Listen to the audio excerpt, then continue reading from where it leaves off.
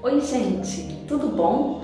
O vídeo de hoje vai ser rapidinho e ele vai dar algumas dicas para quem gosta de trabalhar com renda bordada e aquelas rendas que tem uns blocos, sabe? Não se esqueçam de se inscrever, curtir, deixar seu like, compartilhar, porque toda vez que tiver um vídeo novo você vai ficar sabendo. E qualquer dúvida, deixa nos comentários.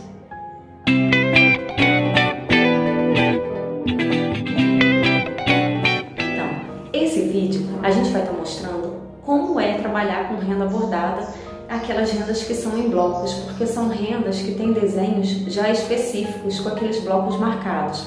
Então, assim, para você criar outro desenho no vestido, você precisa ir recortando e ir é, aplicando devagar, porque senão aquele desenho termina não sendo tão específico como você goste. Esse vestido foi um vestido feito com uma renda dessas que são bordadas já, já vem bordada e é todo em bloco. Eu recortei primeiro as barras que vêm nas laterais e coloquei a barra de renda no vestido, tá tudo alinhavado. Por que, que eu coloquei? Já para saber a quantidade que eu vou precisar, porque eu vou precisar colocar a barra no acabamento dos punhos, da frente e das costas. Então vamos lá. É, essa parte da frente, onde a maioria das mulheres não gostam, que é a parte da barriga, onde fica a calcinha, a cinta e tudo, a gente vai preencher de renda e ela vai ficar toda fechada aí com o desenho da renda exatamente como está nesse V da parte de cima do busto. Por quê? Que é para cobrir e ela ficar toda fechada. É trabalhoso porque você vai ter que ir recortando devagarzinho cada bloquinho para poder ir enchendo o desenho até a altura que você quer. Essa parte do braço, ela tá toda alinhavada, ela é feita no túlio Lujan. Então, você precisa recortar depois a rendinha e acertar. É a primeira prova, a gente vai acertar, vai ver a quantidade que precisa, para depois, quando a gente fazer, fica tudo certinho.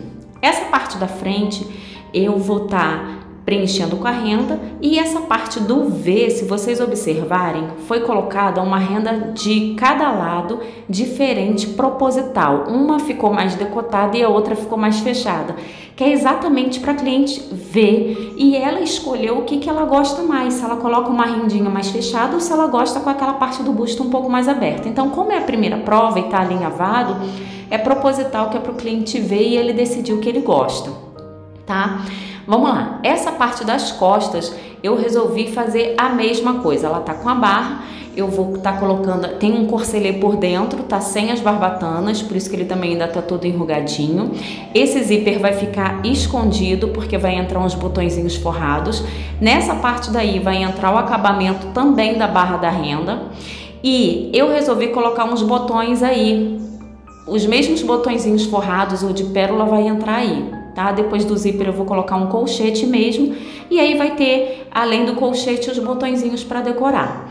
E a barra da renda fazendo o acabamento ali, como vocês estão vendo. Então, assim, essa parte é a parte onde a gente vai fazendo os ajustes, onde a gente vai acertando, acertando, vai vendo o desenho, como que vai ficando no cliente. Então, essa parte de trás também vai ser preenchida com a renda igual na frente. Então, ela não vai ficar com esses blocos vazados justamente para poder dar uma disfarçada no quadril que ela não gosta. Então, o que eu quero que vocês percebam é que esse tipo de renda em bloco, quando você vai fazer ele todo, você precisa também preencher em, alguns, em algumas partes. Esse tipo de renda é uma renda que a gente encontra, é o que a gente mais encontra no mercado, é esse tipo de renda em bloco. Então, por isso que eu resolvi fazer esse vídeo para mostrar para vocês como que poderia estar sendo feito um vestido longo de repente e colocar a barra. Lembrem que a barra é uma das coisas que você tem que cortar em primeiro lugar, tá? Às vezes o desenho que vem na horizontal, que a gente quer, não necessariamente vai ser o desenho que dá para fazer por conta da altura do vestido. Se for um vestido longo, você vai ter que realmente virar para você conseguir aproveitar, porque você tem que lembrar que você vai ter que cortar as duas barras primeiro para você colocar a barra não só na barra do vestido, como também fazer o acabamento dos punhos, fazer o acabamento na frente, fazer o acabamento nas costas. Então, essa, essa medida de 1,40, que é o que vem na renda, com certeza já fica um tecido menor. Então, esse foi o vídeo. Espero que vocês tenham gostado. E qualquer dúvida, deixa nos comentários.